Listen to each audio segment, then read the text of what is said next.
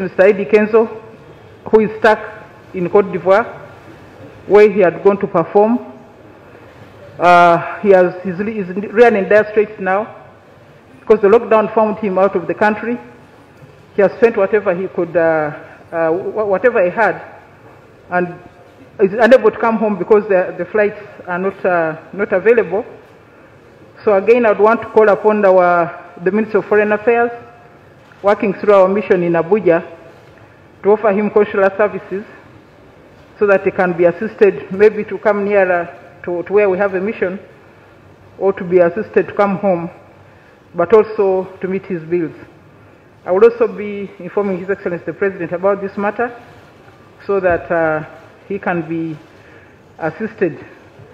For him, it is even worse because he's in a French speaking country. So life is not as easy as it would be if we are in an English speaking country where